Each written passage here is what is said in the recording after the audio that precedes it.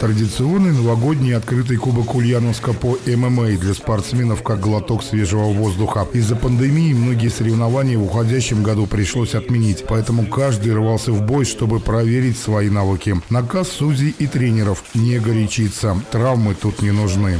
Больше такой старт, конечно, тренировочный, чтобы ребята обкатались, попробовали свои силы у нас здесь. И формат у нас тоже такой, клетка Цель у нас э, популяризация вид спорта и сами, чтобы вы попробовали то, что на тренировке делаете.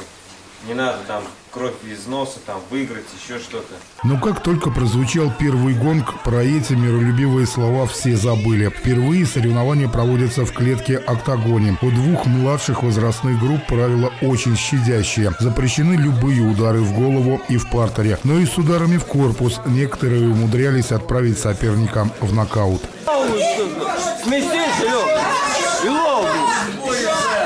Клуб «Пересвет» при Жадовском монастыре на правах фаворита турнира выставил 15 своих бойцов. И неудивительно, что 14 из них дошли до финала. А две последние схватки городского кубка стали настоящим украшением всего ульяновского ММА. В обоих поединках встречались представители «Пересвета» и головного клуба Ульяновской Федерации «Стрелка». В начале 18-летний студент Жадовского сельхозтехникума Олег Целицын, пусть и не без труда, но все же одолел своего давнего приятеля из «Стрелки» Владимира Владислава Марафеева и на радостях кинул вызов его секунданту. И с тобой поберемся.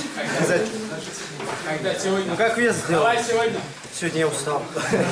Победу одержал боец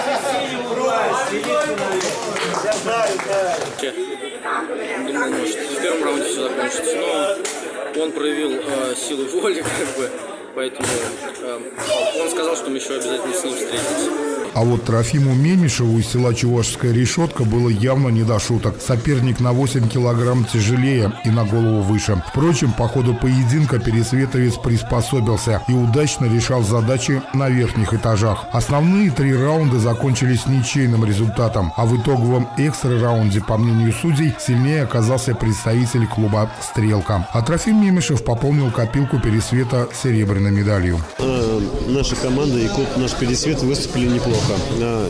Ну, сделали, так можно сказать, небольшой мне новогодний подарок. В результате у Пересвета все 15 воспитанников стали призерами этого турнира. 10 ребят завоевали золотые медали. В неофициальном командном зачете клуб из Барышской епархии стал абсолютным лидером. Дмитрий Гурин, видеостудия Барышской епархии, специально для Улправда ТВ.